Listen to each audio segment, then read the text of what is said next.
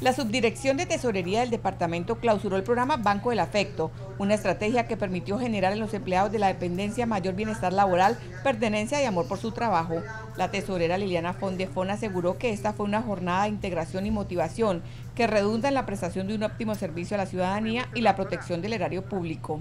Que hayan eh, unas herramientas para que nuestros servidores no solamente les exijamos y les pidamos, sino que también miremos esa parte humana que ha hecho que como ustedes se podrán ver, pagamos de manera oportuna, sacamos paz y salvos, revisamos todos los ingresos y tratamos de dar lo mejor de sí para que la tesorería sea la mejor tesorería de Colombia.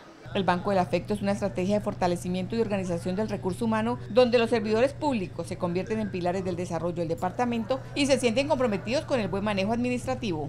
Esto más que todo lo hacemos para saber que el afecto es tan importante en todo lado, especialmente en el trabajo.